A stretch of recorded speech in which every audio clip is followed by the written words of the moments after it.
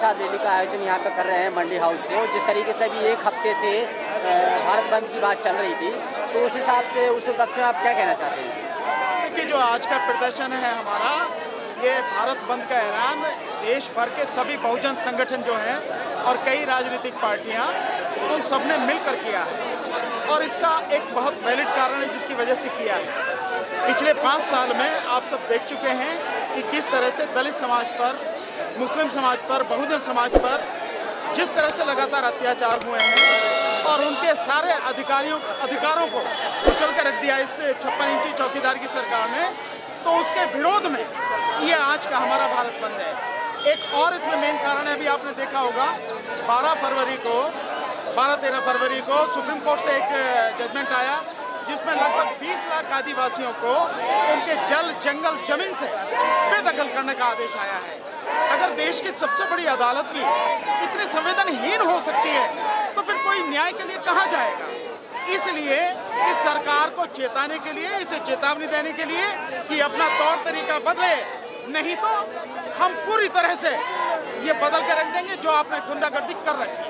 Sir जिस तरीके से बीजेपी सरकार आदिवासियों को हटाने की वो कर रही है तो इसमें बीजेपी सरकार को क्या मिलेगा आदिवासी वोटा को? देखिए उसका बहुत सीधा एजेंडा है।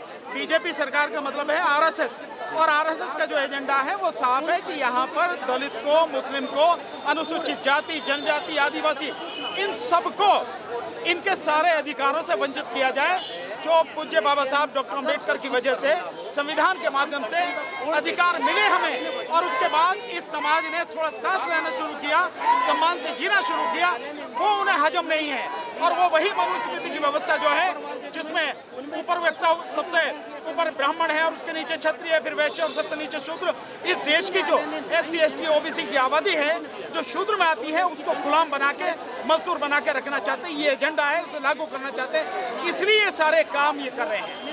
सर, बीजेपी सरकार ने जीतने से पहले बताया था कि हम गरीबों को आरक्षण देंगे और भी काफ़ी चीज़ें, काफ़ी शर्तें बताई थी। तो उस उपलक्ष्य में आप क्या कहना चाहते हैं? नहीं, उस उपलक्ष्य में सीधा है कि जो कुछ बताया, कोई भी उन्होंने अपना जो मैनिफेस्टो उसकी एक भी बात लागू की। और दुर्भाग्य इस देश का कि इस देश का छप्पन इंची चौकीदार सुबह जिस समय उठता है और शाम को जिस समय तक सोता है, झूठ के अलावा कुछ नहीं बोलता। एक ऐसा प्रधानमंत्री इस देश को मिला है, जो प्रधानमंत्री जो आंकड़े पेश कर रहा है, वो सारे आंकड़े झूठ दे रहा है। देश को गुमराह कर रहा है और देश पर उसका युद्ध का खतरा बता के उसका प्रचार कर रहा है। इससे बड़ी और दुखद क्या बात होगी कि देश के सवा, जो जवान हैं, उनकी लाशों पर राजनीति कर रहा है। ये बहुत बड़ा दुर्भाग्य है हमारे देश का। और इसीलिए पूरे बहुजन ने इस देश के लोगों ने ये तय किया है कि इस 2019 के चुनाव में इस छप्पन इंची चौकीदार एंड कंपनी की जो सरकार है, इसको बर्खास्त करके रहेंगे, इसको बेदखल करेंगे, सत्ता में आने नहीं देंगे।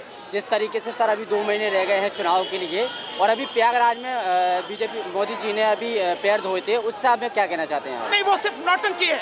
अगर वो पैर धोने की बात कर रहा है, हर रोज यहाँ पर हमारे जो हमारे जो वो है वाल्मीकि समाज के लोग, सफ़ाई कर्मचारी हैं, वो हर दिन मेन हॉल में मरते हैं।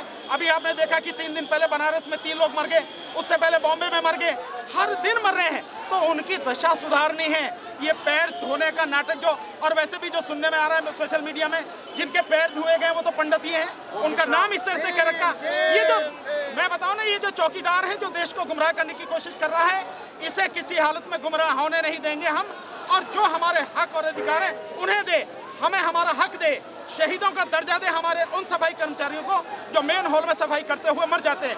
उनके लिए जो बाकी और व्यवस्था है, उन, एक उनके परिवार को नौकरी की व्यवस्था, उनको प्रॉपर मुआवजे की व्यवस्था, उनकी घर की व्यवस्था, उनके बच्चों की शिक्षा की व्यवस्था, ये करे, ये पैर धोने की नौटंकी बंद करे, हम सब समझ गए हैं। ऐसा नहीं है कि हम आँख मीच के बैठे जानते नहीं है सारी की सारी चीज़ें।